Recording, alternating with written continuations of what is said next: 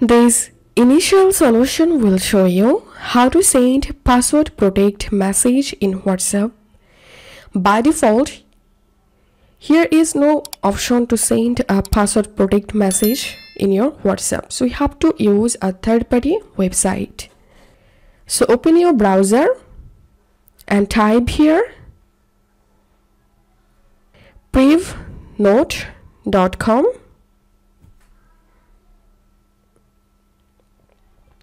Once you are in this website, here you will get this new note section. Now write your note or message here.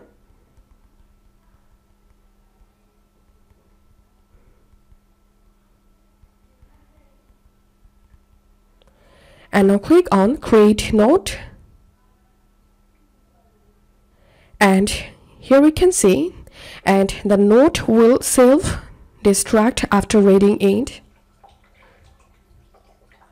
and you'll get a shareable link here. Tap and hold on the link and tap on copy link. Once you copied the message link go to your whatsapp open the conversation and simply paste the link here and send it.